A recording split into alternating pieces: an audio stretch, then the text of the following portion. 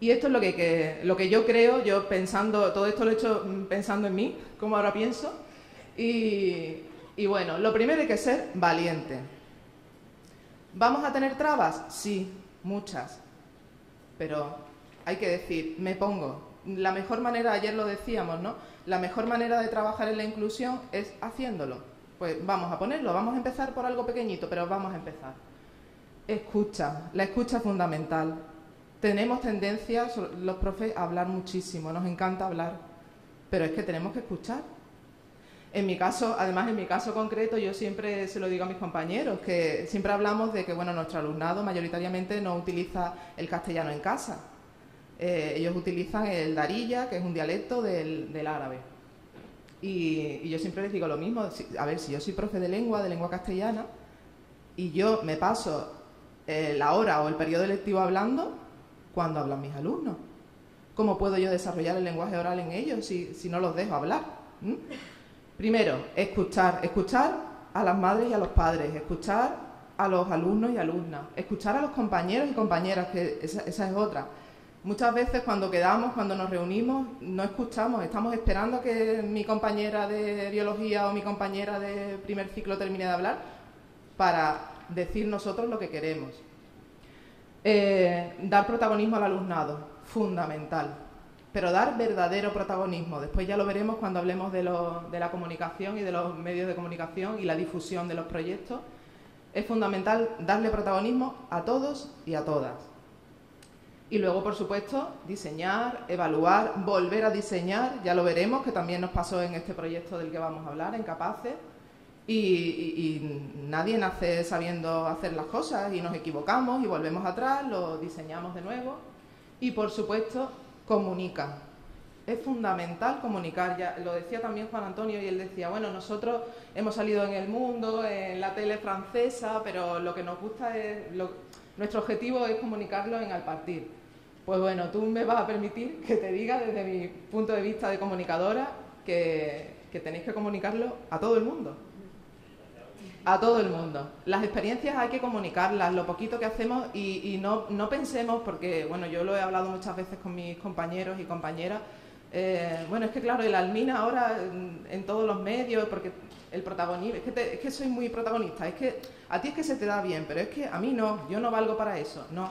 Hay que comunicar las experiencias porque es la única manera de dar visibilidad a un proyecto, es la única forma de motivar al alumnado, de hacer que de verdad sean protagonistas. Si le damos protagonismo, no vale que se quede en el centro y sea una actividad cerrada. Y es una forma también, y en esto sí que llevamos muchísimos años trabajando, es una forma de formar al profesorado. La comunicación, los medios de comunicación, las redes sociales son contextos no formales de aprendizaje. Se aprende muchísimo de, la, la comunicación de experiencias y de los medios de comunicación. Bueno, pues sobre estas premisas vamos a dejarnos ya de, pensar si me gustaría. El año que viene me gustaría hacer algo. No, te gustaría, perfecto, pero hazlo. Un poquito, aunque sea, pero haz algo. Eh, bueno, antes de, empezar con, con, Capaces, mm, yo creo, bueno, a todo esto yo no soy experta, por supuesto, en educación inclusiva, yo he dicho que yo soy simplemente una profe de lengua, pero para mí las claves de la educación inclusiva son abrirse a la comunidad, fundamental, a toda la comunidad. Muchas veces hablamos de comunidad y pensamos nada más que en la familia, en las asociaciones, en profes y en alumnos. No, a toda la comunidad y a todo el mundo. Eh, el compromiso lo comentaban Maika y, Manuel, el compromiso es fundamental. Sin compromiso no hay educación inclusiva y no hay transformación tampoco. Eh, transformación, eso es desde el compromiso y la ética. Y por supuesto también la flexibilidad, la adaptación, lo que yo llamo la adaptación a la vida real. Eh, estamos, mm, no tenemos espacio, no tenemos tiempo. Yo, yo cuando intento, cuando hago algún proyecto, yo muchas veces no estoy en el aula y necesito estar fuera.